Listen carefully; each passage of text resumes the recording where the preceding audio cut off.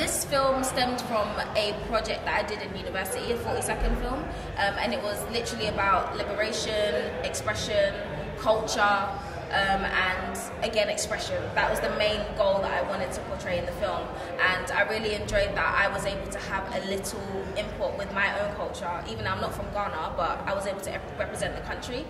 Um, you know, and I just literally just wanted to visualize the kind of culture we come from and how it's fun and enjoy. Um, it's you can find joy from the music. You can even tap your head if it's not even your kind. Tap your head nod your head if it's not your kind of thing. Like it's just meant to be like bringing people together and just embracing the moment, you know, like the music and everything like that. So that's where it was inspired from. And also, I just felt like it's something I've been wanting to do for a very long time. So when Random Acts came about, I was like, okay, let me. I remember speaking to him in my room, and I was like, I want to apply. Let's do it. And he was like, make sure you know what you want to do, and then I did it, and you know, it got made. So.